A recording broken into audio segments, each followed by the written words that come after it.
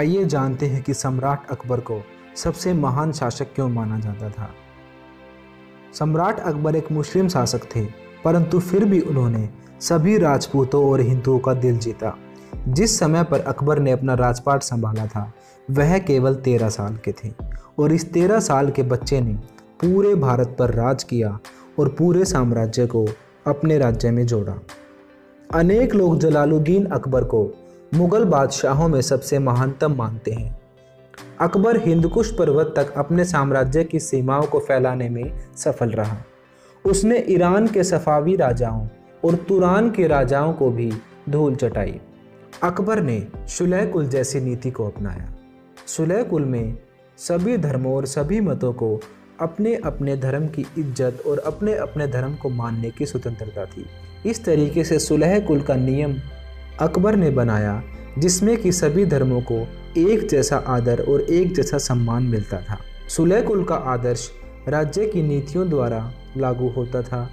मुगलों के अधीन अभिजात वर्ग में ईरानी, तुरानी, अफगानी, राजपूत, दक्कनी ये सभी लोग शामिल होते थे और इन सभी लोगों को अकबर ने कभी भी मुस्लिम धर्म मानने के लिए बाध्य नहीं किया, बल्कि उनके धर्मों की इज़्ज़त की और उनके धर्मों को प्रोत्साहित भी किया।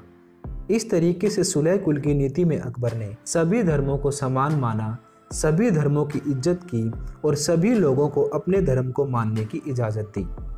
तो सुलह कुल को अपनाकर भी अकबर एक महान सम्राट बन सका।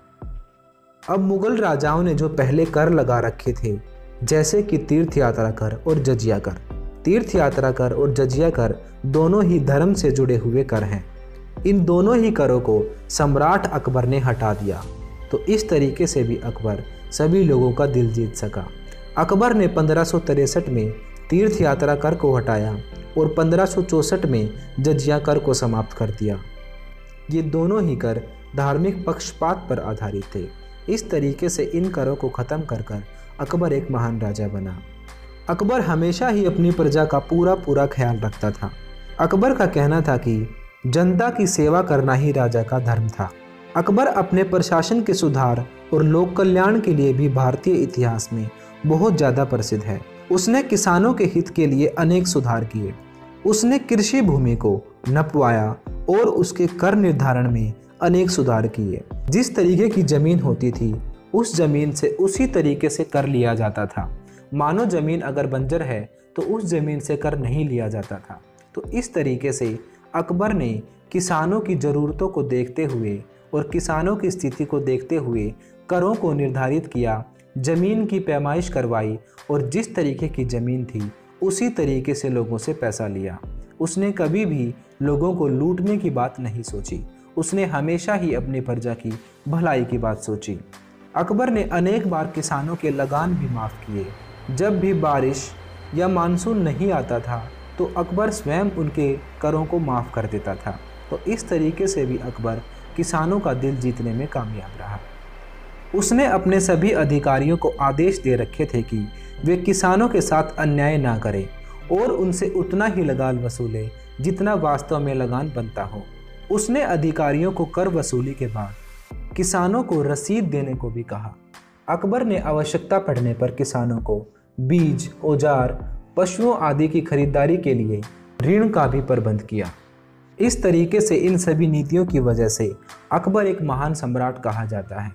अकबर ने राजपूतों और हिंदू शासकों को भी अपने राज्य में शामिल किया। सभी हिंदुओं और राजपूतों को अपने दरबार में ऊँचे स्थान दिए गए। उसके सबसे खास लोगों में राजा मान सिंह और अनेक राजपूत लोग हुआ करते थे। उनकी पत्नी भी जोधा थी, जो कि एक राजपूत राजकुमारी थी।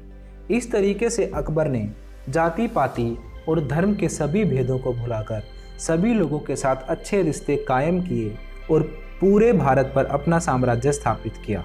तो इस तरीके से हमने देखा कि चाहे किसानों की बात हो, चाहे सैनिक क्षेत्र की बात हो, चाहे धर्म की बात हो, चाहे जाति इत्यादि की बात हो, अकबर ने हमेशा ही सभी के साथ अच्छा व्यवहार किया, सभी को सम्मान दिया और पूरे साम्राज्य पर अपना अधिकार स्थापित किया।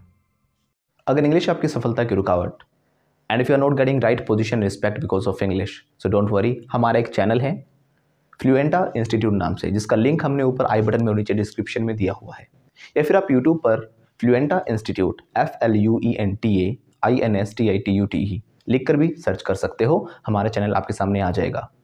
इस चैनल पर हम आपको spoken English IELTS P T TOEFL personality development life skill और मोटिवेशन से रिलेटेड वीडियोज़ देते हैं।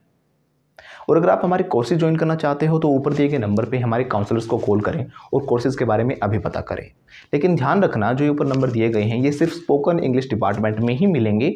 बाकी किसी इन्फॉर्मेशन के लिए या क्वेरी के लिए आप इन नंबर पर कॉल बिल्कुल मत करना, क्योंकि ये सिर्फ़ स्पोकन इंग्लिश रिलेटेड जो हमारा डिपार्टमेंट है, वहीं पर आपकी बातें हो पाएँगी। और अगर आप चाहते हो सब्जेक्ट्स की पीडीएफ और कोई और इन्फॉर्मेशन तो आप हमें इंस्टाग्राम पे फॉलो कर सकते हो, जो कि हमने नीचे डिस्क्रिप्शन में दिया हुआ है, या फिर आप सर्च करके भी हमें इंस्टाग्राम पे फॉलो कर सकते हो। हम जितने भी बाकी सोशल मीडिया प्लेटफॉर्म्स हैं, हम सभी पर अवेलेबल हैं। आप उन पर भी हमें फॉलो कर सकते हैं। बाकी जो हमारे सब्जेक्ट्स हैं, उनकी सभी की वीडियोस हमने प्लेलिस्ट में बिल्कुल सीक्वेंस में डाली हुई हैं। आप जो भी सब्जेक्ट पढ़ना चाहते हो, उनकी जो वीडियोज़ हैं प्ले में से सीक्वेंस में ही देखें, जहाँ पर आपको पूरा का पूरा सिलेबस सीक्वेंस में मिल जाएगा। जैसे कि पॉलिटिकल साइंस है हिस्ट्री है सिविक्स है, सभी सब्जेक्ट्स हमने अलग अलग से दिए हुए हैं। तो जो हमारे चैनल है फ्लुएंटा इंस्टीट्यूट वो है स्पोकन इंग्लिश के लिए। बाकी अगर आप सभी सब्जेक्ट्स की जो वीडियोस देखना चाहते हो, वो आपको इसी चैनल पर मिलेंगे फ्लुएंटा फैमिली पर। और जो हमारे जितने भी सब्जेक्ट्स हैं, उनकी जो वीडियोस हैं, वो सारी प्लेलिस्ट में से सीक्वेंस में ही देखें। हमने सारी वीडियोस को अरेंज किया हुआ है प्रॉपरली प्लेलिस्ट के अंदर। जिनका लिंक भी हमने नीचे डिस्क्रिप्शन में दिया हुआ है। Thank you